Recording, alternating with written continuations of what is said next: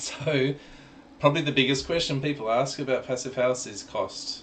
Um, is it going to cost them more? Um, how do you answer that, uh, Damir?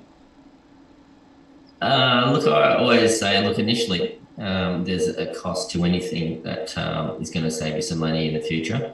Um, I, I, don't see these houses being um, something like an investor or a developer would create and make some money off. I think this is more for the homeowners who really want to settle um, and would, you know, stay in the house, you know, 10 plus years.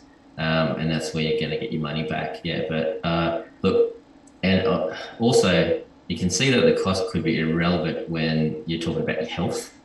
Uh, I, I, know for me, I've, I've got some health issues, and it's like, you know, what else? You know, I'll, I'll spend the money, you know, um, because I can see the benefits. Um, yeah, for sure. Like I think a lot of people are willing to pay for something if they know it's going to improve their health. Like you think seatbelts, you think gym memberships, organic food. People are happy, and I'm happy to pay good money for things that is going to improve my health. So I guess it's what what what are you willing to pay or sacrifice for your health?